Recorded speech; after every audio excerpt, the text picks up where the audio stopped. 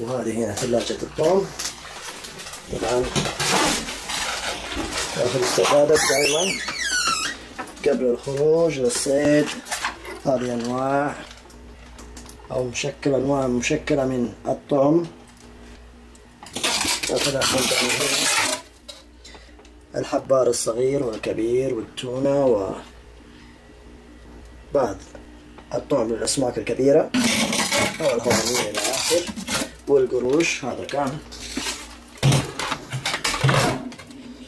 وعندنا هنا أسماك السردين والباغا والسلماني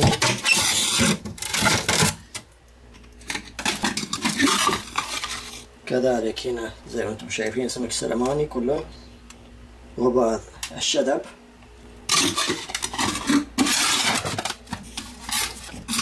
أفضل طريقة هي وضع الطعم مثلج مع إضافة بعض الملح.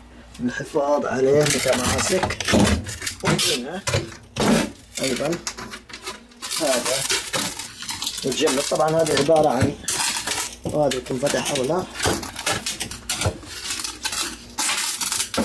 محجرة الآن ومثلجة ولكن هي عبارة عن أحشاء دجاج وإلى آخر وهنا متماسكة مع الثلج هنا اللي هو طعم أبو مقص وما أبو مقص إلى آخر. من الكبدة والأشياء والخليط طبعا المهروس اللي مسويه طبعا عشان كذا متماسك علبة دهان نظيفة.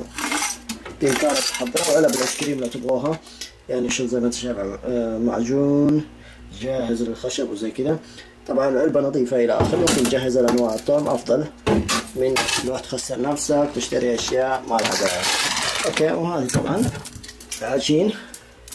برضو سويته عجين متماسك. عجين بالسردين. تعرفوا تسووا العجينة وحطوا عليها سردين واهرسوا وسووا عجين بالسردين. طبعا مفيدة جدا للصيد. أوكي. وهنا الترمس بإمكانك تأخذه لوضع صيدك اللي تصيده كالعادة وهذا. عبارة زي ما أنتم شايفين ما أقدر افتحه الان لأنه كثيرين.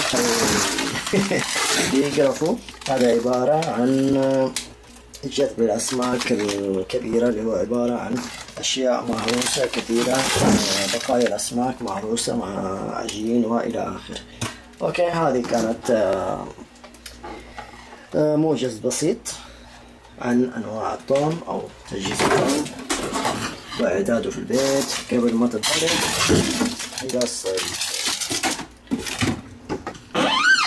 وهذا طبعا كنت أقول تشكيل الثلج أو مكعبات الثلج. أنا هنا مسوي شيء بسيط.